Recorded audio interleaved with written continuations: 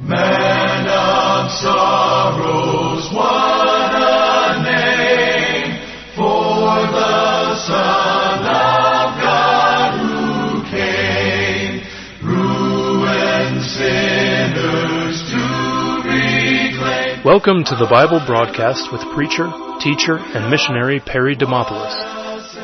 The Bible broadcast is a ministry for the purpose that the lost might be saved, that the saved may be edified, and that the Savior, the Lord Jesus Christ, would be glorified. We hope that the Lord will bless you with today's message. Join in with us now and let's hear today's broadcast.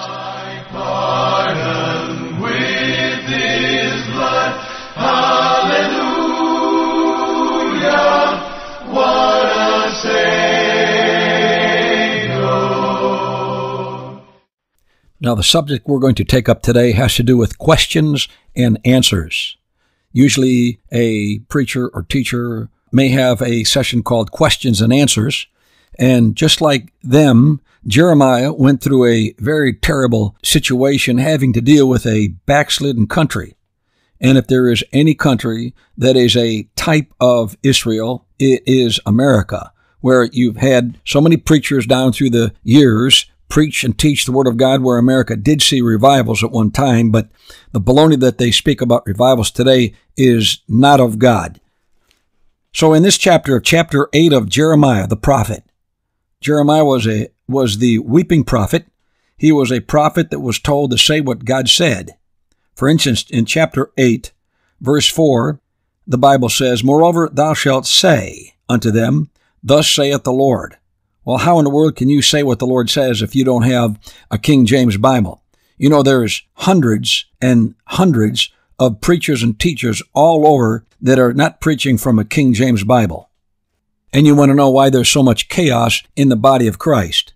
Well, when I went into a bookstore, I think it was Books a Million, and I looked in the religious section and I opened up one of the books by one of the Christian authors, saved authors. I hope he's saved. In the beginning of that book, he made reference and made a list of all the, quote, Bibles, end of quote, he would refer to. There were well over nine different versions that he used. You know what? Which Bible was his final authority? His own opinion, because he sat and sits over all the other versions and picks and chooses whatever version he wants to.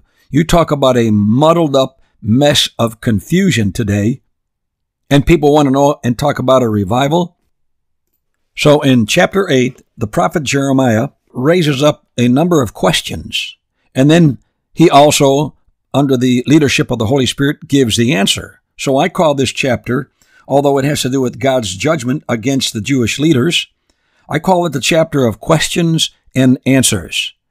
And I think it's right for you to have questions about what God is doing at times and when you don't know. And it's good to be frank and honest with the Lord and say, Now, Lord, what of it? But be honest, put all 52 cards up on the table. I don't mean about asking questions about doubting the Word of God, like Satan said, Yea, hath God said, and Eve took from the Word of God. She didn't say the word freely. And then she added to the Word of God, Neither shall you touch it. And you've got commandments from the beginning of the Bible to the end that you shouldn't diminish from it or add to the Word of God. But now you've got people that are spiritual perverts that are perverting the words of God. And when I say the words of God, I'm talking about every word in the authorized King James Bible, not just word, capital W, and then talk about something that nobody has in their hands because they profess they're somewhere in the originals, which they don't have. That's an escape, an easy way out, and a cowardish way of looking at what the Bible says that God can preserve His words from generation to generation.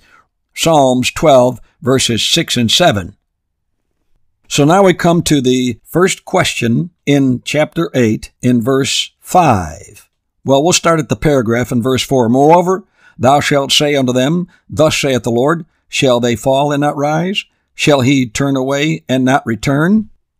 Now here are two questions right away, and then followed by yet another question in verse 5. Now watch this. Why then is this people of Jerusalem slidden back by a perpetual backsliding? Now that's the question. And then in verse 6, you have another question. Verse 6 I hearkened and heard, but they spake not aright. No man tempted him of his wickedness, saying, What have I done? Everyone turned to his course as the horse rusheth in the battle. So they're asking this question, What have I done? You see, Jeremiah noticed that, that people are backslidden, they hold fast deceit, and then they ask, What have I done? as if they've done nothing wrong. But then here comes the answer. Now watch this. This is our question and answer time with the prophet Jeremiah, who gets to the bottom of the reason why the country was shot to hell, just like America. In verse 8, look at this. How do ye say, We are wise, and the law of the Lord is with us? Lo, certainly in vain made he it. The pens of the scribes is in vain. Now look at that. Do you see that? He's talking about the pen of the scribes. It's in vain. Those that are scribes are those that write the script. They write the words of God. They had an unfaithful attitude toward the preservation of God's holy words. Look at verse 9, the result of that. The wise men are ashamed. They are dismayed and taken. We did a recording concerning those that are taken. Lo, they have rejected the word of the Lord. And what wisdom is in them? So, you answer the question, well, it's a wisdom that's not of God. It's a worldly, sensual, devilish wisdom because the scribes are writing in vain. They're writing perverted words that are written, scripted on paper. And lo and behold, over 300 translations in English that are all contrary to one another and especially against the living words of the living God in the King James Bible. There's the answer. And that's the problem. And that's which starts the damnation of any nation. When Satan uses whether they are saved or unsaved, it doesn't make a difference to him. As long as they're blinded concerning the preservation of the words of God, that country has had it. And it's only the beginning of the end. 1881 in England and in 1901 in America with the American Standard Version.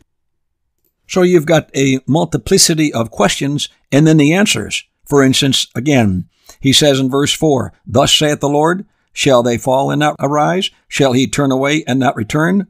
Why then is this people of Jerusalem slidden back by a perpetual backsliding? Answer, they hold fast deceit. They refuse to return. Well, deceit comes from Satan. He is out to deceive the whole world. Revelation 12:9. Verse 6 now it says, "What have I done?" Everyone turned to his course. There it is. There's the answer. As the horse rusheth into the battle. Next question.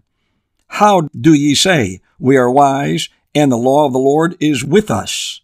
Here's the answer. Lo, certainly in vain made he it. The pen of the scribes is in vain. Then the next question.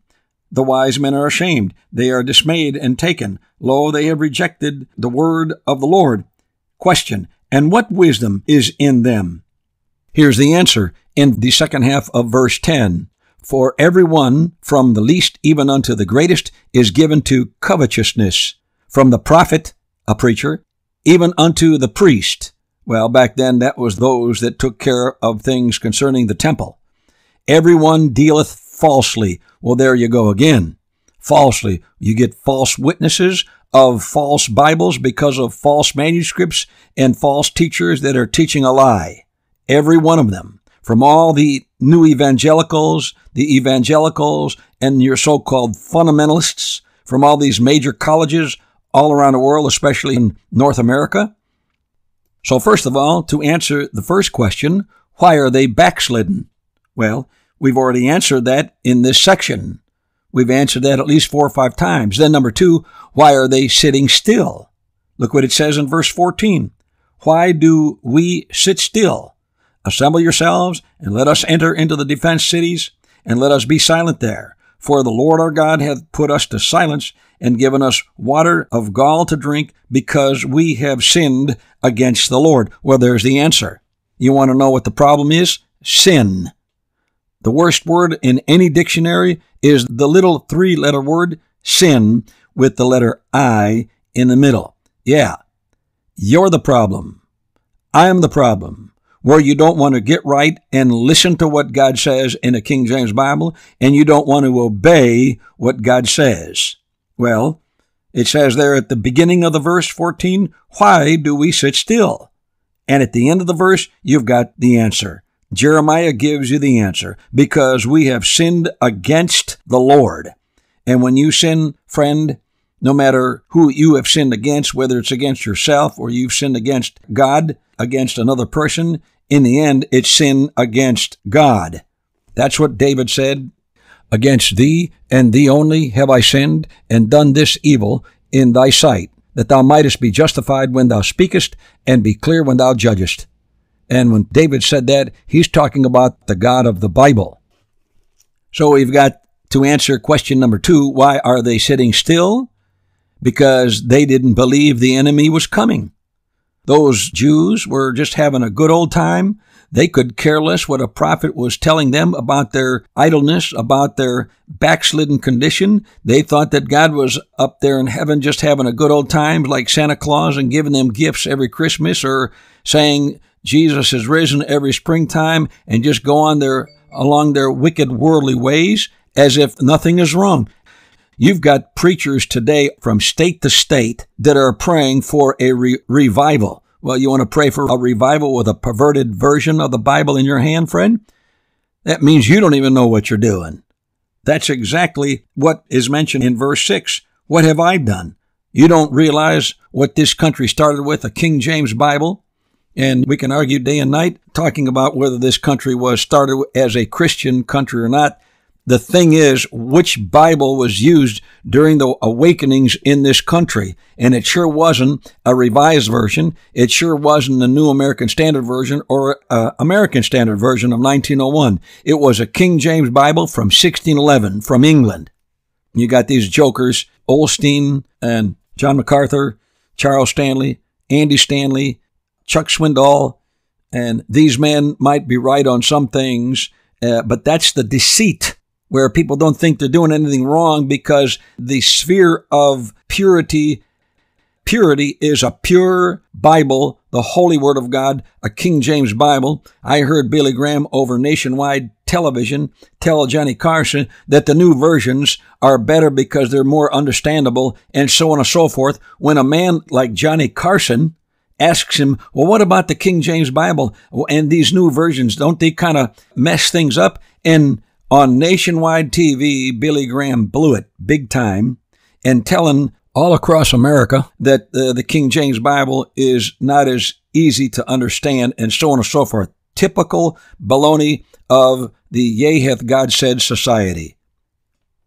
J. Vernon McGee testified to the fact that if he had a choice between the Antioch line of manuscripts and the Alexandrian line of manuscripts, he professed that the Alexandrian line would be better. He doesn't know what he's talking about. John MacArthur puts out a video recording addressing the question, Does truth matter? And he's holding a perverted Bible in his hand. He's no more qualified to answer that question than a person who's played checkers his whole life is going to tell a professional chess player how to play the game of chess and win. And now, from what I've heard, they use an ESV like Paul Washer and Lawson or Larson, whoever that guy is, and uh, John MacArthur and all these modern day Calvinists that, that talk about the sovereignty of God and the decrees of God. They don't know what they are talking about. So question number two is in Jeremiah 8, why are we sitting still? Why do we sit still? The answer, because you have sinned against the Lord. Man, when sin starts working in someone's life, you're not walking the walk God wants you to walk. You're not running the race. You're not jogging with Jesus. You're not sprinting with the uh, sprinting with the Savior. You're not running that marathon race with the Lord Jesus Christ. You're standing still. Sin kills. The apostle Paul said to the Romans in chapter 8 of all chapters, just like we're in Jeremiah chapter 8, Romans chapter 8 verse 6 says, For to be carnally minded is death, but to be spiritually minded is life and peace, because the carnal mind is enmity against God, for it is not subject to the law of God, neither indeed can be. So then they that are in the flesh, whether it's a brother or sister in Christ, cannot please God. Practically speaking, you're spiritually dead, and sin is what kills the walk or the race for the believer, any believer. Sin is no respecter of persons, and backsliding is no respecter of persons, and sin loves company. Now let's continue with our question and answer hour with the prophet Jeremiah in Jeremiah chapter 8. Look what it says in verse 19, chapter 8, 19. Behold, the voice of the cry of the daughter of my people, because of them that dwell in a far country. Is not the Lord in Zion? Is not her king in her? Why have they provoked me to anger with their graven images and with strange vanities? Well, that's the third major question here. Why did they provoke God? Well, those Jews believed they could serve both the Lord and their idols. There's the answer right at the end of, of verse 19. They did not abandon the Lord. They just made him one of their many gods. But the Lord will not accept equality with any other God, friend. For he is God alone, the God of the Bible, the God and Father of our Lord Jesus Christ, who was sent to this earth to die and shed his pure, precious, powerful, eternal blood for you and me. You think God is going to give any of his glory to any other, quote, God, end of quote? Just as an unfaithful husband or wife provokes a spouse, so the unfaithful child of God grieves the heart of the Lord. You can't serve God and mammon, friend. The Bible says in this, in this chapter that they were all given to covetousness.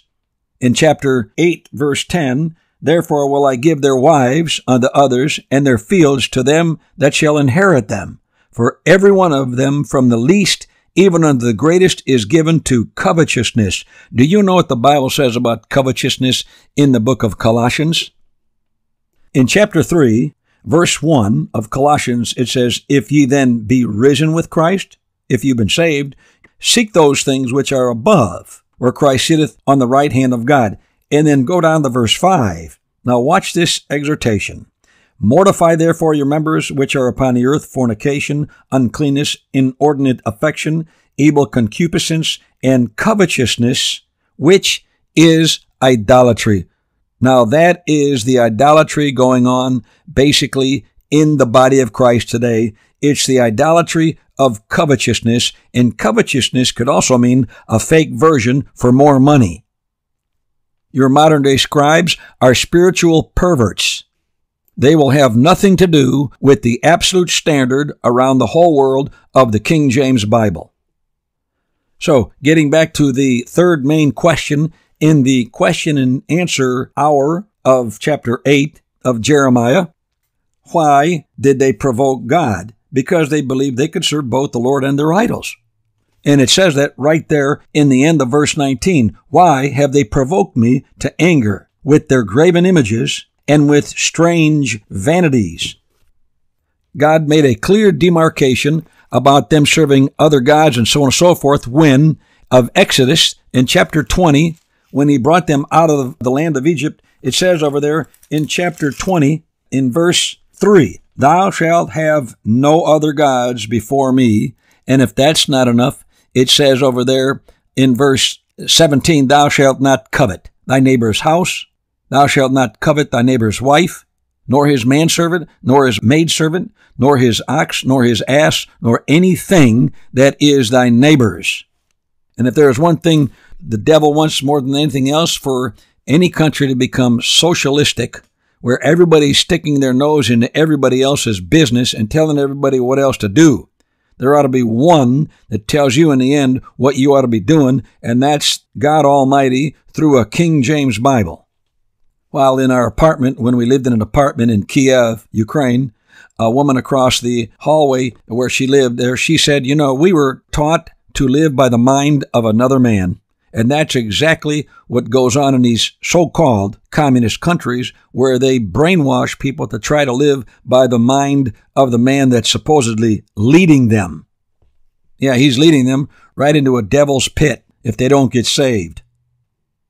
Now, for the last couple of questions in this question and answer session of the prophet Jeremiah, Jeremiah chapter 8, it says in verse 20, The harvest is past, the summer is ended, and we are not saved. Well, this is an indication that when Jesus Christ comes back at the end of the tribulation, it's in the fall season. The seventh month, when they have those three last holidays, well, holy days, uh, they had three in the springtime, one coming towards summer, which was Pentecost, and then the last three, which was gatherings, trumpets, and tabernacles. That's in the fall season. Verse 21 For the hurt of the daughter of my people am I hurt. I am black. Astonishment hath taken hold on me. Now here comes the question Is there no balm in Gilead? Is there no physician there?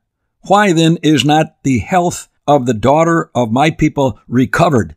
You've got three questions right here. Well, there's actually two question marks.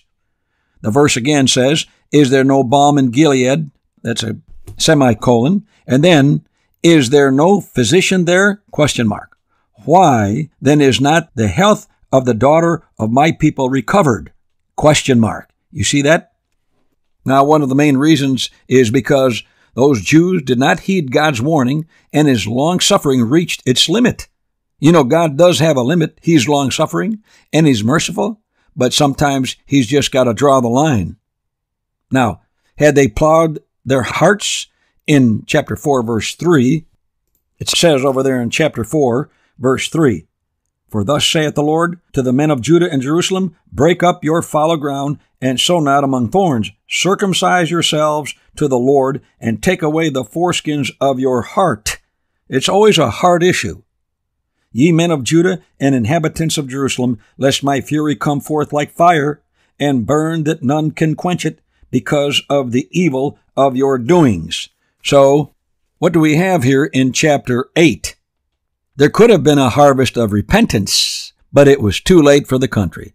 The sickness was too far gone, and no medicine was available. And that's why you have in the very last verse of this chapter, is there no balm in Gilead?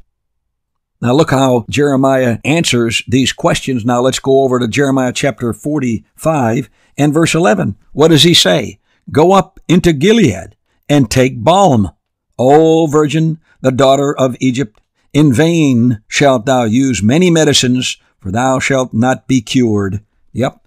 And that is it, folks. You know, you got people running all over the place for health and getting health insurance and this and that and the other. The country of America has gone crazy with these insurances. It's a mafia. And yet they don't see the major problem the problem of their heart and their soul and their spirit and what's going on inside. The physical body for the brother or sister in Christ is one thing, but the main thing is the inner man. And that's what the Lord wants to strengthen the inner man. But sin will prevent you from that inner man and Jesus Christ being formed in that saved man or woman. So you've got these four major questions, although there's a number of questions in this chapter, and there's a number of answers to those questions, but we've picked out four. Number one, why were they backslidden? Why is the country, why are you, brother or sister, backslidden? The brother or sister doesn't want to acknowledge and admit the sin and get it right. Repent. That means have a change of heart and mind about the issue and get it right. And maybe folks have this happy, smiley, superficial ministry of false prophecy, just like it says in verse 11, Jeremiah 8:11. Now listen to this. For they have healed the hurt of the daughter of my people slightly, saying, look at this, peace, peace, when there is no peace. You got a bunch of false preachers and teachers going around and saying, oh, revival, revival. Things are going to really turn around and America's getting right. You must not have read 2 Timothy chapter 3. This know also that in the last days perilous times shall come, for men shall be lovers of their own selves, and this whole list of sin listed after lovers of their own selves. And in verse 13 it says this, but evil men and seducers shall wax worse and worse, deceiving and being deceived. Paul was prophesying about the last days, the last days being perilous times. We're in it right now. Question number two. Why were they sitting still? Well, the question can be answered with one word sin. They really didn't believe the enemy was coming. They didn't take the warnings of Jeremiah seriously. like this country ought to be taken seriously, the old prophets that God raised up. And you got people don't even know realize that they're at the end of the Laodicean period. Well, you got the first period of the first five centuries, and then you got the Middle Ages, a thousand years, and after that, you've got from 1500 or 1600, the King James Bible, revivals in the Philadelphian period of the church age, and now we're in Laodicea, where people are teeter tottering. They're neither hot nor cold, they're lukewarm, and you don't think we're there, friend? After this country has produced more than 300 perverted Bibles by a bunch of spiritual perverts. Question number three. It's over there in verse 19. Why have they provoked me? That's what Jeremiah writes. Because they believe they could serve both the Lord and their idols. You know, slap on God on Sunday after you have a soccer game or a football game or a baseball game. And I'm talking about every sportsman in America that's hot dogging it in the end zone just because he made a tackle or he recovered a fumble and the team is down 30 to nothing. They could care less about a King James Bible. And then you're going to talk about God just because you tackled somebody. Big deal. Or you knock somebody out. Big deal. Or you score a goal. Big deal. What are you doing? Are you praying? Are you spending time to fast and pray and lead your children and your wife and your children and your family uh, through the Holy Bible, a King James Bible? Or are you piddling around with this lightweight stuff? I don't care if you're a heavyweight boxer. You're a lightweight if you don't get right with God. And then finally, in verse 22, it's the very last verse of this chapter of the question and answer session with the prophet Jeremiah. Is there no balm in Gilead? Is there no physician there? Why then is not the health of the daughter of my people recovered? Well, let's say this they were not only physically sick, they were spiritually sick. And back then, uh, under the Old Testament dispensation, because of their sin, they would be physically ill and they had diseases of Egypt because of their disobedience to God. So we answer that question, or Jeremiah does, because the people did not heed God's warnings. And when God called those people to return, they did not want to return. They wouldn't seek the Lord while he could have been found. And God had to bring judgment upon that nation and take them into captivity. And there was the nation Israel 70 years under the rule of Nebuchadnezzar and his sons. There was no cure for the country. There is no cure for any country that's going to be living like they lived and live like believers, those that are in Christ, live and with a backslidden attitude. And the first question that was brought up in this chapter of questions and answers is why then is this people of Jerusalem slidden back? By a perpetual backsliding. They hold fast deceit. They refuse to return. Well, you know why they couldn't recover? At the end of verse 22, the very last word is recovery. Why couldn't they return? Or why wouldn't they recover? Well, the first answer to that major question is right in verse 8 and 9. Now listen carefully. This is where it all starts. How do ye say, We are wise, and the law of the Lord is with us. Lo, certainly in vain made he it. The pen of the scribes is in vain.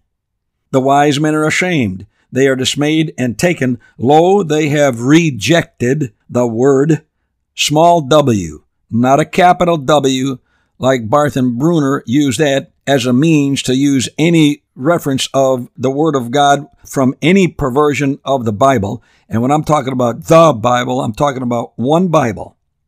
Have rejected the Word of the Lord.